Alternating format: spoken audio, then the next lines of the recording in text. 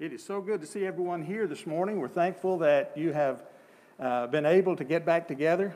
You know, it hasn't been since uh, the early 1900s, about 1918, that churches uh, were asked by the state to not have services. And so, you know, that's a, a century ago, but we're thankful that since we have been out, hopefully that uh, things have been contained and we'll, we're able to worship together again.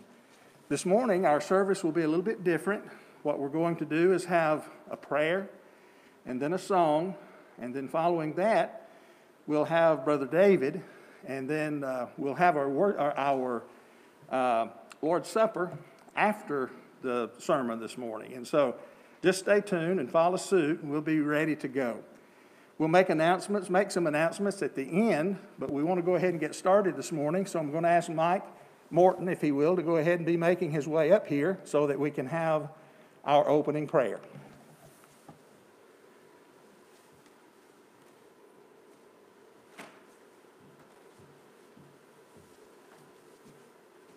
Please bow with me. Holy Father, we're so thankful that we can be back in attendance today as a family, as your children, and that we can worship you that today in spirit and truth. And we're thankful, Father, for all the technology that you've helped men to develop where we could worship you while we've been safer at home. We pray, Father, that you will guide the scientists, research people, that they can come up with a treatment, a vaccine, or an antidote to this virus where we can get back to reasonable life and we can continue to get back to our services on Sunday, Sunday night, and Wednesday night where we can all assemble together. Father, we're thankful for our elders and their leadership. We pray that you will bless them, strengthen them, have a long life in your service. We're so thankful and we love them so dearly. We're thankful for Mark and Marlene and their dedication and the work that they do. We pray that you'll continue to be with them. Father, we pray that we're having our uh, meeting starting today with Brother Barker, that you will be with him, strengthen him, and him also have a long life in your service. We pray that you will be with those who are sick of the congregation, those who are facing surgeries. We pray that you will be with Jennifer Wiggins as she uh, faces back surgery this coming Friday, that it'll be a complete success. We pray for others, Father, who are battling cancer, for Tracy, and we pray for Cookie Hatch and other people, Father, that you'll continue to be with them and strengthen them. Thank you for this day, and we pray that our worship will be according to your will and accepted in your sight. In the name of your Son and our Savior, Jesus Christ, amen. All right, before we sing, let me go ahead and introduce David, and at the end of the song, he'll come up and have our uh, lesson for this morning. David, of course, grew up here in Jasper. He is uh, the son of Jimmy, and what's your mother's name? Judy? I almost forgot it there. And uh, many of you know them. Uh, his sister and mother both are members at the Sixth Avenue congregation, and so we're thankful that he is here with us today. David has preached at the Midway congregation, and that's not a, I didn't misspeak. Uh, preached at Midway up in uh, uh, between Moulton and Decatur for a number of years. He's married to Kelly. They have two daughters, Kayla and Anna, and uh, we're thankful that he is here with us today.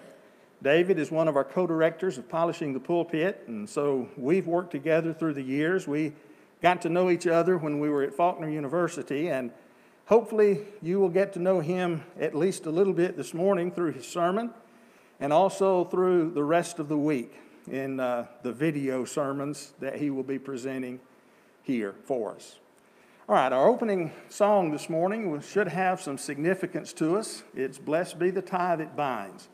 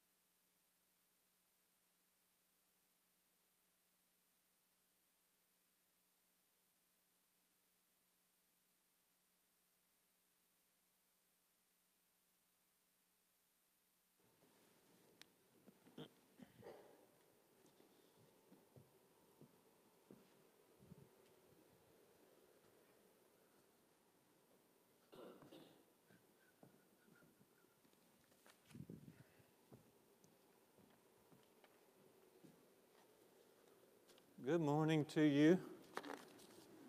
It's a beautiful day. I tell you what, driving down this morning, I thought you couldn't ask for a better day. And I'm ready for this hot weather. I'm ready for it. And um, been looking forward to summer all year long.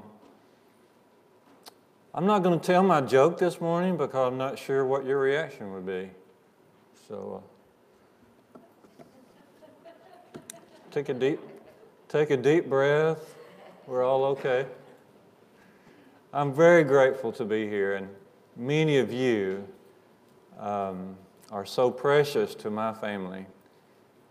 And I truly believe that not only your family, your physical family, but as you are trying to serve the Lord, the Lord Himself will bring people into your lives that helps you. Certainly, a number of you are looked upon in that way for us personally, especially Mark and Marlene. And we don't know where we would be, my wife and I, we don't know where we would be if had not been for the influence of Mark and Marlene. We're so grateful. You better not forget my mother's name. She's going to be, she's going to be listening to this today at some point. She may, so uh, I, I dread your situation if she runs into you and you forget her name. We are going to be focusing on the Lord's Supper, so let's get started together. We'll start with uh, four goals of the uh, Lord's Supper and then uh, four ways to help meet these goals. And I think we'll be profited uh, from this. Four goals, goals, and in the sense of my goal is to get through this lesson without making a mess of it. So four, four goals. and we're very familiar with the Lord's Supper, but it's good for us to review and to and to let the truths of the Lord's Supper sink deep into our hearts and souls. We remember Jesus speaking of the Lord's Supper with his disciples in Matthew 26 and beginning in verse 26. We also remember that as the church is established on the day of Pentecost, that we read concerning those who obey the gospel to Acts 2.42, that they continued steadfastly in the apostles' doctrine and fellowship and in the breaking of bread and in the prayers.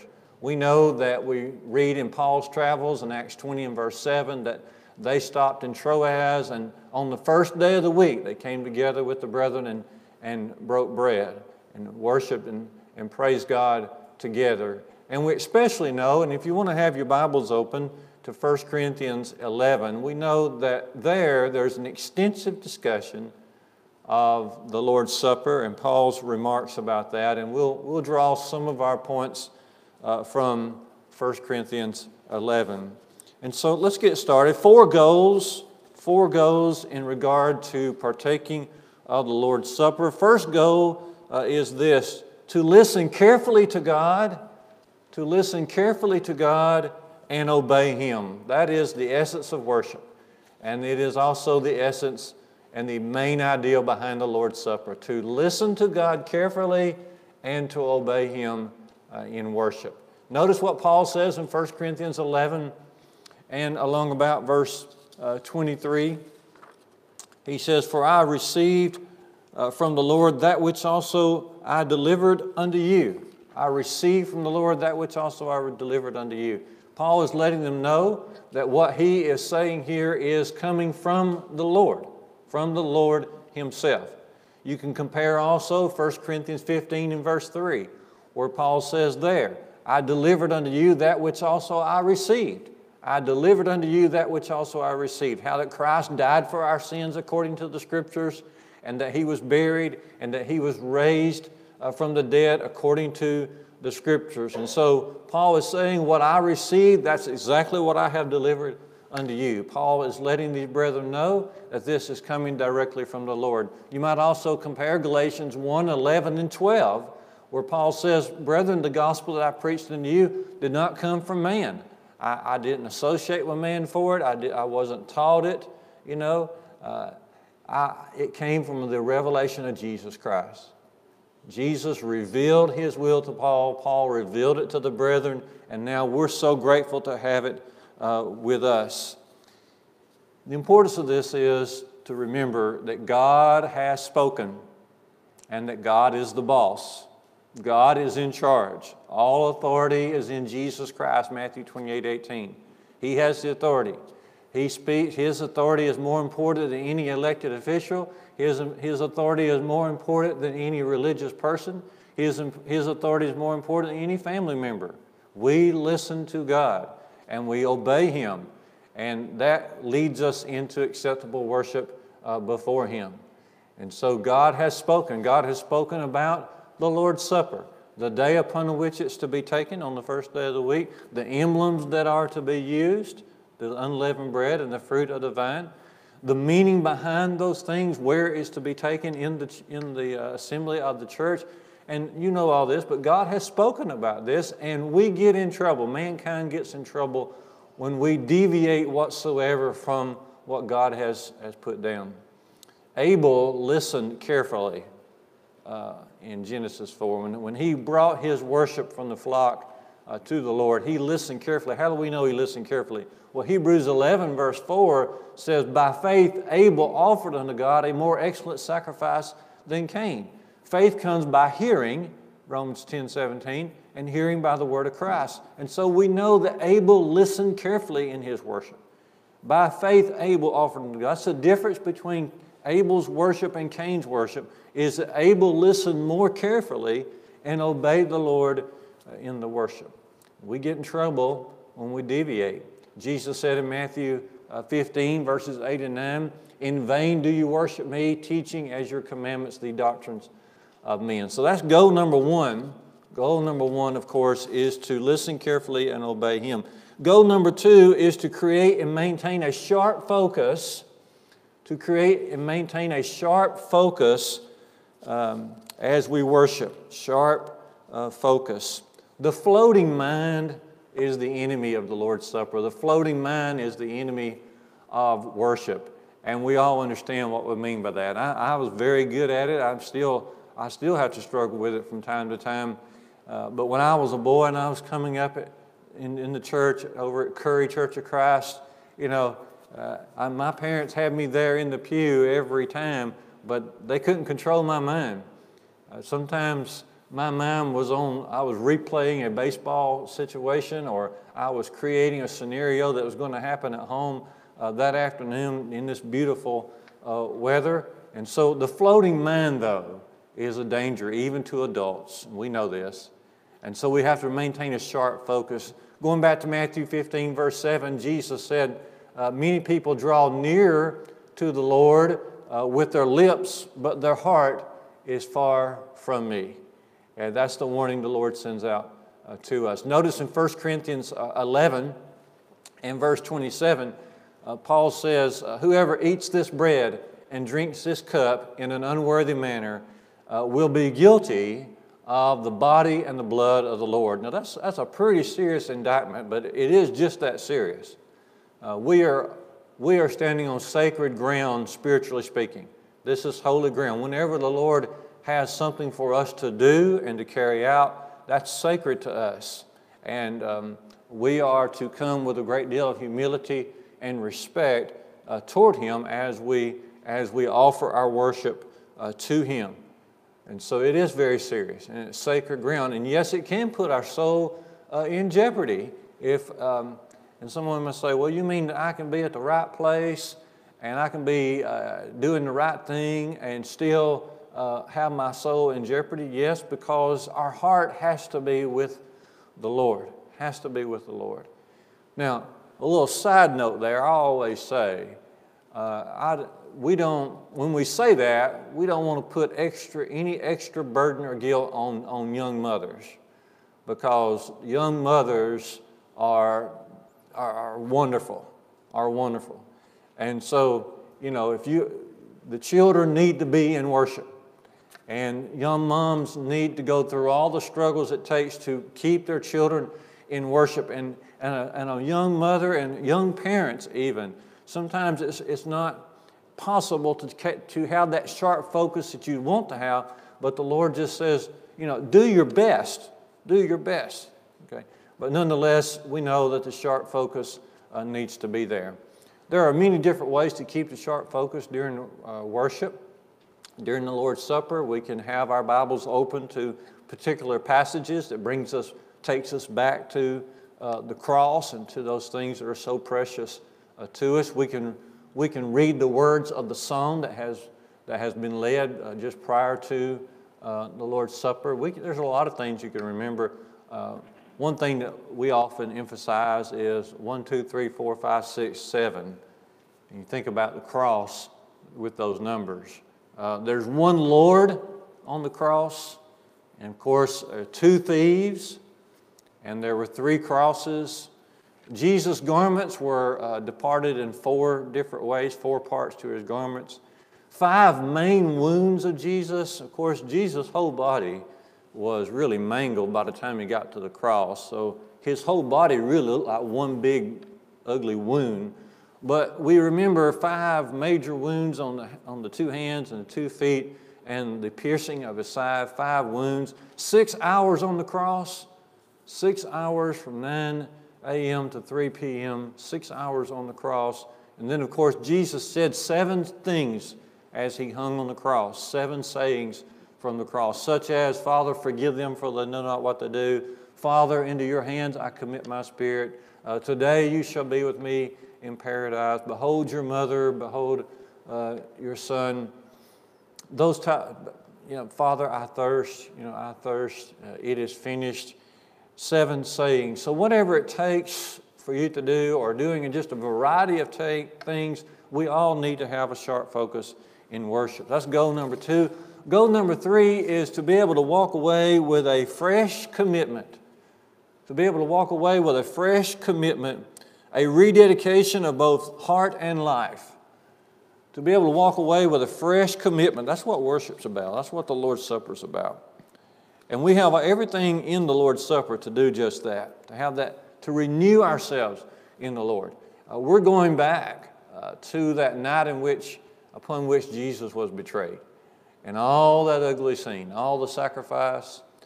Uh, we, Paul reminds us in 1 Corinthians 11 of the, of the body of Jesus, of the blood of Jesus, of the death of Jesus, of the betrayal of Jesus uh, we take this on the Lord's day, uh, so we're reminded of the resurrection of Jesus. All that took place at that particular time in, in, the, in those early ancient days is plenty to cause us to reflect upon ourselves and to really leave with a renewed sense of commitment and dedication uh, to the Lord. You know, Paul says right there in 1 Corinthians 11 28, let a man examine himself, and so let him take of the of the cup and, and take of the fruit of the vine and, and eat of the bread and take of the cup. Uh, we're, we're to leave with a fresh sense of, of um, joy in, in the Lord. One of my favorite passages is right there in 2 Corinthians 5.15. 2 Corinthians 5.15, that's my favorite verse today. You know, it says, Jesus died for all, that all, who, all we who live uh, should not live unto themselves, but live to Him live for Him. Live for Him who, uh, who died and, and rose again. Who for our sakes died and rose again. So that's what this is about. That's why Jesus died, so that we can live, yes, come out of our sin, but also we don't just live. We don't live for ourselves, but we live for Him. Which Him? The, the, the one who for our sakes died and, and rose again. And similar to what Peter says in 1 Peter 2 24, when he talks about Jesus, his own self, uh, he bore our sins uh, in his body on that tree, that we haven't died to sin. See, that's one thing the cross should remind us of every day. The Lord's Supper ought to remind us of this all the time. We died to sin that we might live in the righteousness by whose stripes uh, we are healed. And so we ought to leave worship wherever we're worshiping, whenever we worship, um, especially as we partake of the communion on the first day of the week, uh, we ought to come out of that with a, a, huge sense of joy, anxious to run into the world and tell uh, the world about the Lord. So, goal number three is this fresh commitment. And goal number four is to draw a line between the Lord and the, and the world. To draw a line once again, that's what the Lord's Supper is about it helps us once again to realize that the Lord and the world never go in the same direction. Okay. I notice there in, in 1 Corinthians 10 now, chapter 10, verse 16, Paul asks the question the, cup of blessing which we bless, is it not a communion of the blood of the Lord? The, the bread that we break, is it not a communion of the body of the Lord? What, what's Paul saying? He's simply saying something we already know down deep, and that is whatever we serve or worship, we become one with the object of our worship. We become one with the one that we're worshiping. We, we become we, are, we become fully devoted to that object of worship or, or to Him whom, whom we worship. We become, we, we're fellowshipping, we're communion uh, with Him. Okay?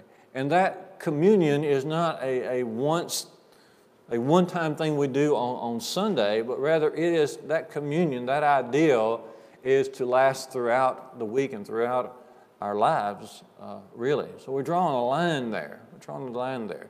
You know, Jesus said in Matthew 6 24, no man can serve two masters. He will, he will hate the one and love the other, and vice versa. Okay. And Paul brings that same ideal out here in 1 Corinthians 10 22. You cannot, you cannot drink of the cup of the Lord and the cup of the demons. Okay. You, you can't, many try to do this, and many deceive themselves thinking that they're doing this, that, they're, that they are they're paying reverence to God, but they're also serving the world. You can't do that. And, and the Lord's Supper reminds us of that every time we take it. It ought to. Ought to. Jeremiah was facing the same temptations uh, his people were. Jeremiah chapter 7, 9 through 11. This is way back under the old law where they meet together in the house of the Lord. But nonetheless, here's his question. He says, Will you, will you steal and murder and commit adultery and swear falsely and worship other gods and then come into this house which is called by my name and offer worship to me here. That's what they were doing. That's what they were doing. They thought that, that an hour of worship would cover a week of sin, and Jeremiah was letting them know that's just not the way it is. That's not acceptable to God. And so when we partake of the Lord's Supper, our fourth goal is to, to draw once again that start line between the Lord and the world. Let's move on now to a second part of our, our um, our thoughts on the Lord's Supper, and that is uh, what are some ways in which uh, we can help accomplish these goals? Okay, well, it's really the Lord helping us. See, the Lord knows us better than anybody, absolutely. And we don't have to go through a number of passages. You know this.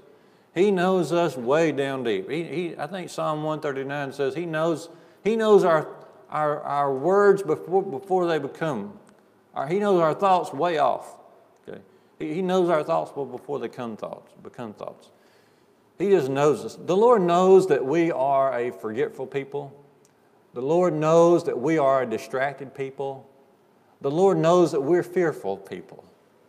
And so He has embedded within the Lord's Supper several components that helps us remember, that helps us focus, that helps us gain courage. Notice four of these components uh, with me and then we'll draw our thoughts to a conclusion here. Component number one uh,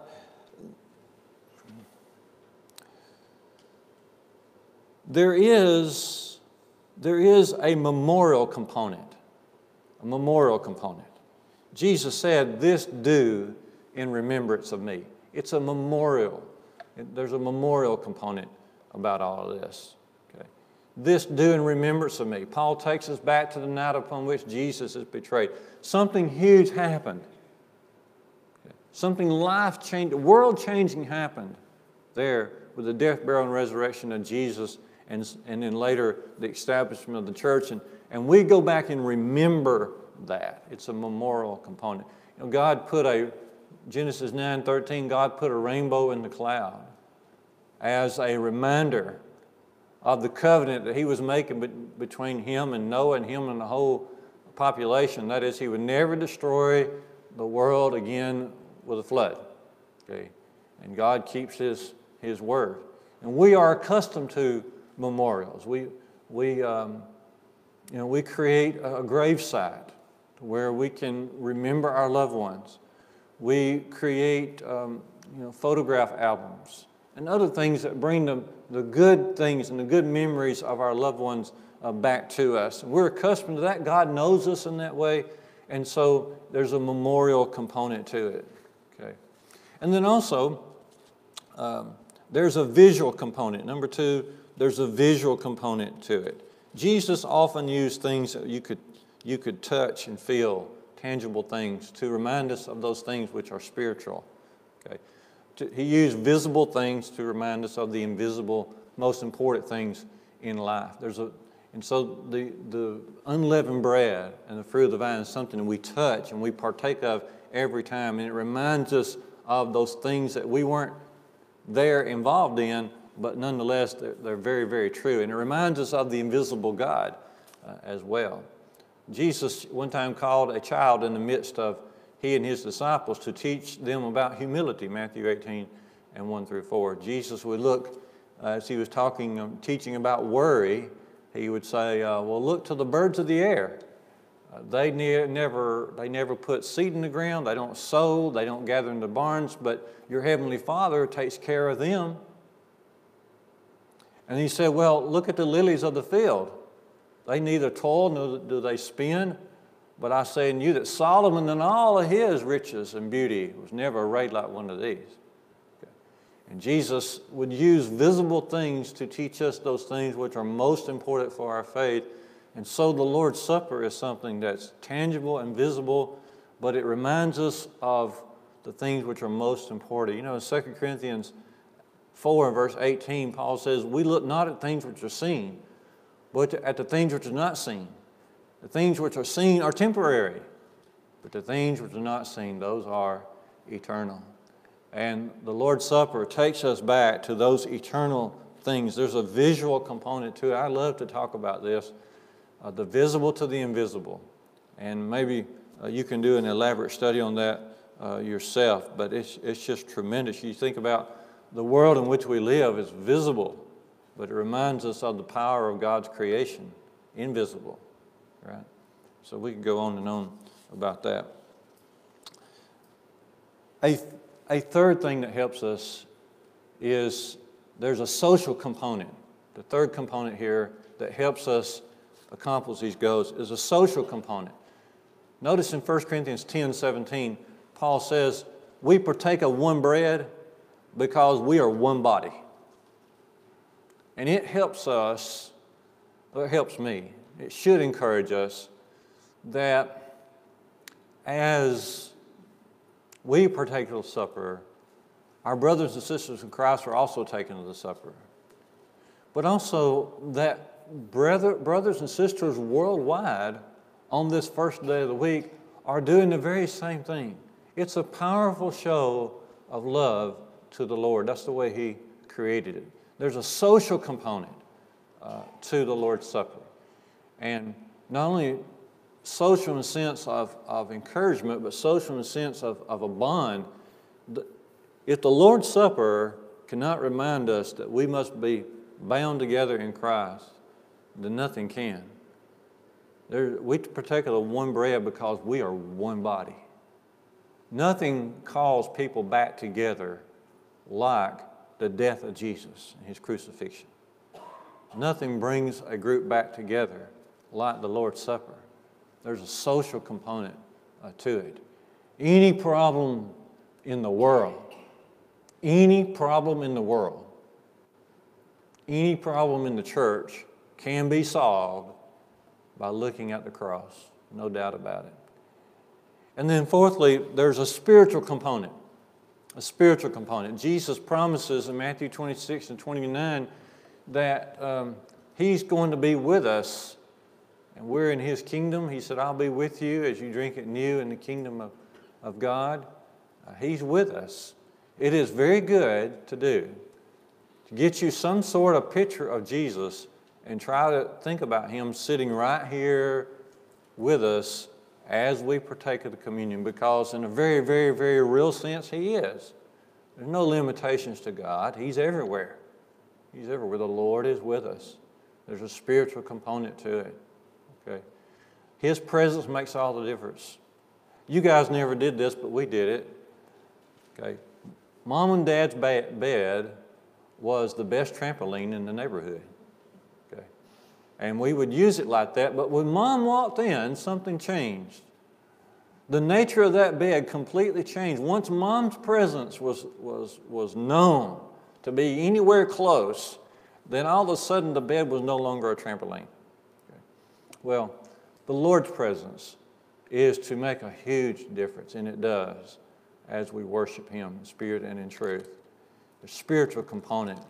And you know, back in the old time, uh, for example, when Joshua, they were getting ready to go into the land, uh, they crossed the Jordan with the Ark of the Covenant. And God cut off those waters so they could walk across on dry, dry ground. And then the Lord had Joshua set up stones as a memorial. Okay. And the reason was, you look in Joshua 4, verse 6, the reason was God knew that the, their children would ask, What's the purpose of these stones? And in that way, they'd be ready to answer them what God had done for them. Same thing if you look at the Passover feast, Exodus 12, 24 to 27, God said the same thing almost. As, as he's telling them about the unleavened bread and partaking of that for seven days and and, the, and the slaying of the lamb without spot and without blemish, eh, he said, Your children will ask you. When your children ask you, you can tell them, Hey, by great power, God brought us out of our bondage in Egypt, and now we are the people that we are. So it is with these emblems, the unleavened bread and the fruit of the vine. We want our children to ask us about this. It is God's visual aid to help us talk about Christ and talk about the most important things in life. We want our neighbors to ask us. We, we want the world to ask us. We need to bring that up, by the way. When, during the week, you know, you go into the gas station and you're just talking for a moment, you know, and say, Yeah, we had a great worship yesterday, you know, we always take the communion. Somebody's going to eventually ask you, y'all take communion all the time? You take every first day of the week? And man, when they do that, it's like sick on bulldog. You said, yes, by the way, you want, you want me to sit down and talk to you about that? It, we, got, we can do this. Can we not take the, the unleavened bread that represents the body of Jesus? Can we not do this? And go from there and show that Jesus died for us? That God is so holy that we could not have a relationship with Him except that Jesus died for us? And can't we show them that the blood cleanses us and how to get in contact with that blood through the waters of baptism? We can do this. We, we, we can do this. We want people to ask us about this. Uh, four or five years ago, the brother of one of our members was, was dying of cancer. And the brother of one of our members, he, he had grown up in a denominational church. And really, um, but they wanted me to go talk to, to the man who's in his last days. So I went, I had several meetings with him. I never was able to baptize him. But we got a long way into our studies. And I, and I ended up preaching the man's funeral. And I, and, I, and I shared this at the funeral. But the man was very frustrated. And, and when we were in, in his living room and we were going over the Lord's Supper and how meaningful it is and how you take it on the first day of the week, he stopped me. He said, Explain to me that first day of the week.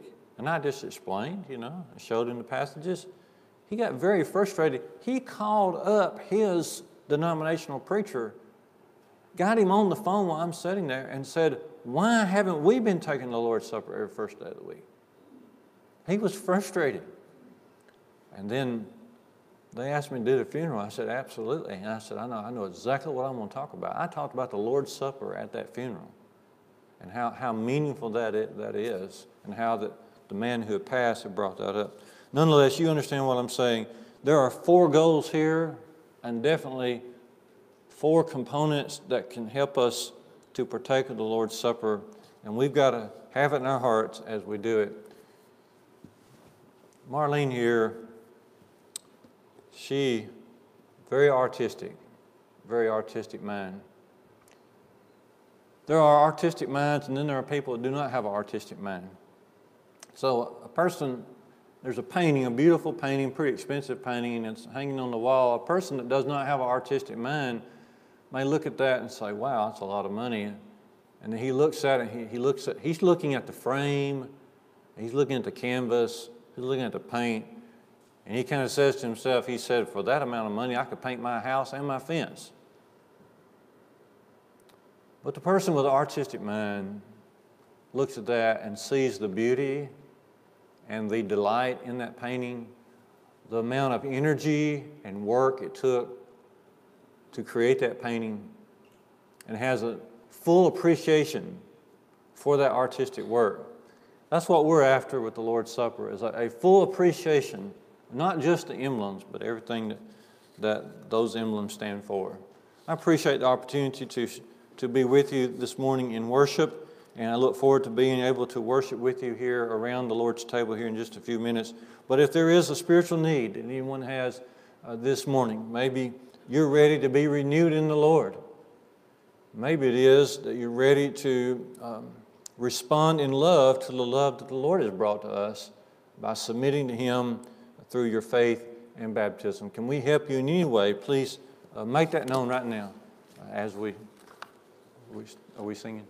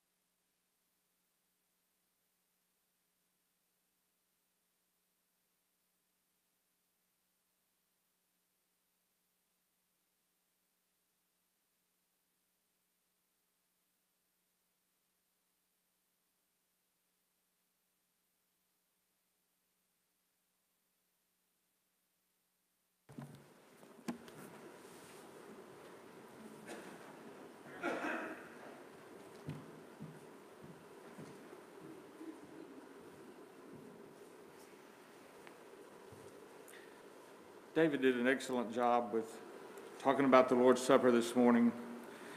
I'm very grateful for that.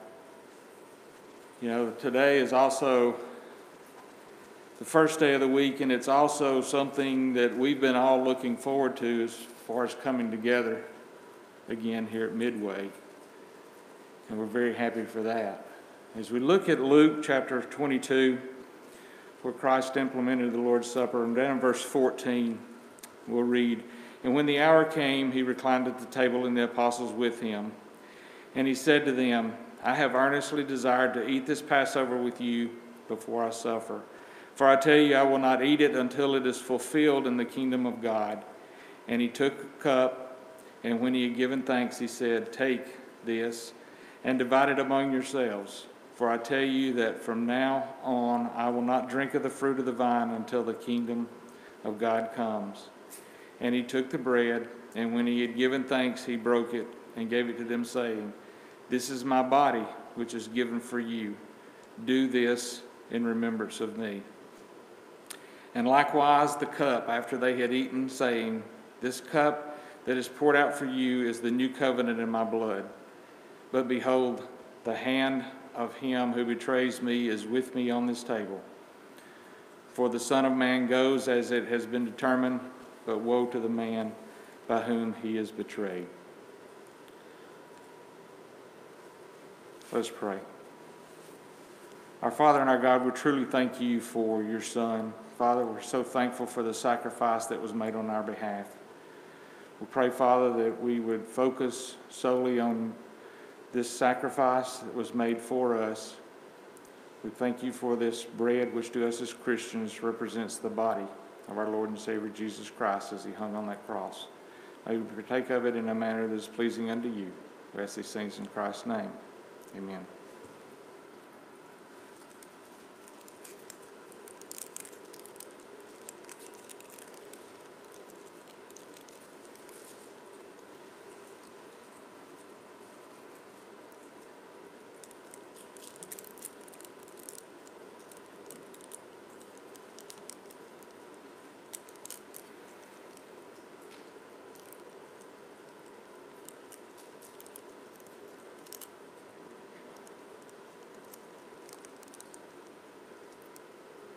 My apologies for not mentioning before. If you did not pick up a communion cup, we can have one delivered to your seat.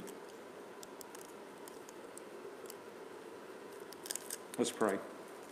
Our Father and our God, we truly thank you for the sacrifice. Father, we thank you for the blood that was shed on our behalf. We pray that you would bless this fruit of the vine, which to us as Christians represents the blood of our Lord and Savior Jesus Christ. We ask these things in his name. Amen.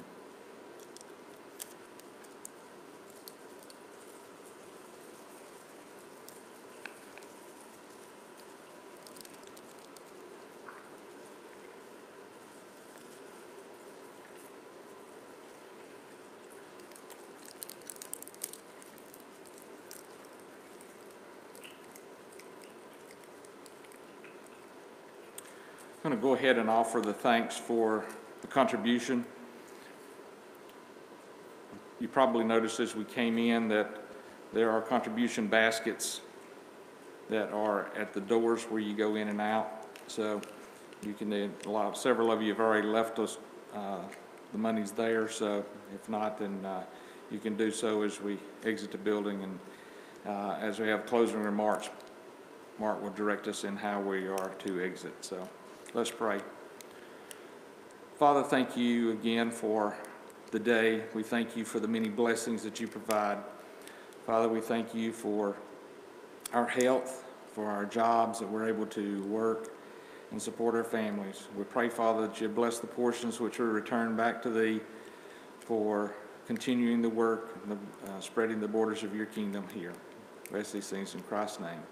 Amen.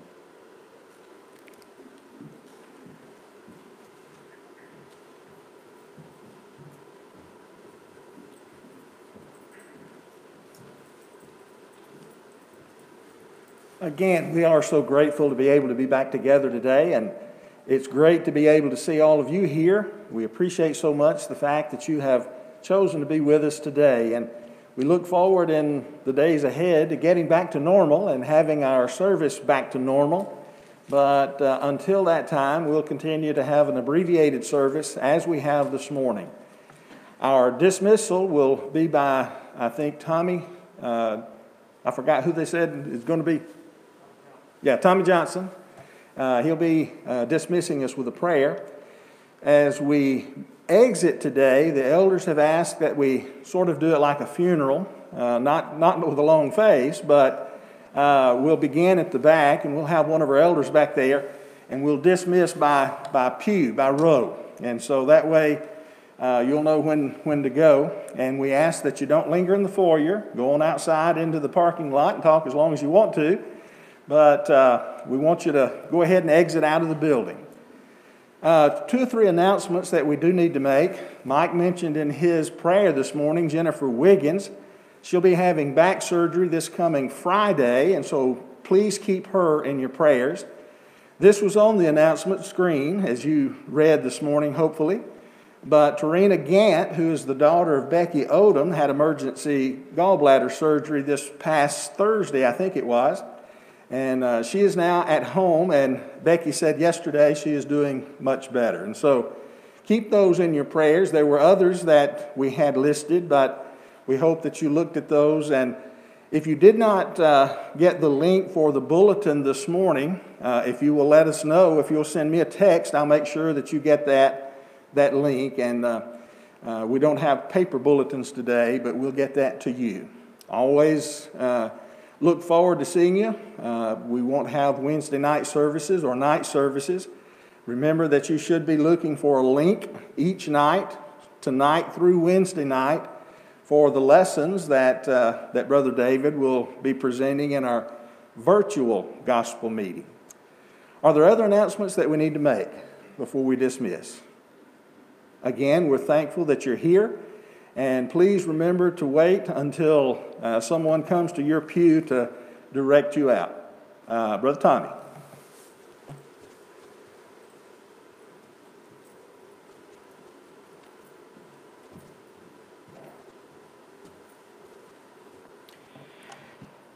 Father, thank you for this hour that you have blessed us with.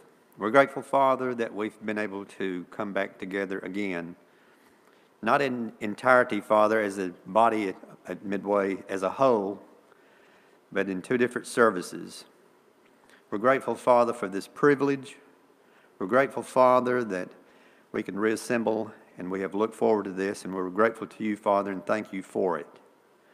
We know, Father, your word assures us that where two or three are gathered together, that you are there, your Son is there in the midst as well. And we're grateful, Father, to know that even though for the past two and a half months that we have worshiped you privately in our homes, that your Son is there with us. And we know he's with us here this morning. Thank you, Father, for everything that you do for us. Thank you, Father, for everything that you bless us with and bestow upon us. Help us always, Father, to be grateful for our blessings. For we know, Father, that sometimes we can lose them. Thank you, Father, for your Son, for sending him down to this world to live the perfect life that he lived and to finally go to a cross and hang there in our behalf and on our behalf. We're grateful, Father, for him and for that. Help us, Father, to always stay focused on him and on the cross. Bless this nation, Father, as we're going through difficult times. Bless the leadership to help us get through these difficult times. And help us, Father, as your children, to always set the right example to each and every one that we come in contact with. For it's through your Son we pray. Amen.